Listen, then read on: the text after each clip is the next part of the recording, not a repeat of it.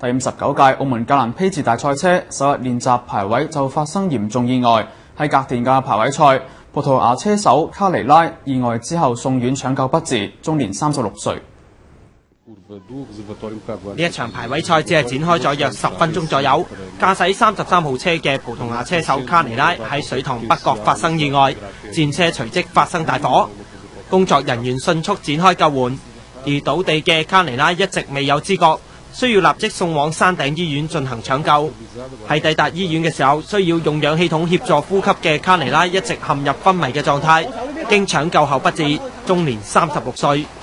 三屆葡萄牙冠軍嘅卡尼拉今次係第七次來澳角逐，喺澳門大賽車嘅最佳成績係零八年取得格蘭披治電單車賽嘅第四名。澳门大賽車對上一次有車手喺東望洋跑道不幸喪生，系七年前，當時當時法國車手邦浩爾喺格電嘅練習賽撞难身亡。今次不幸事故係歷嚟第十四宗死亡事件。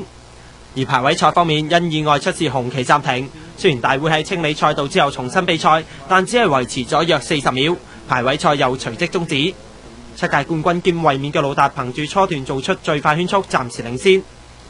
我們電視台記者郭兆添。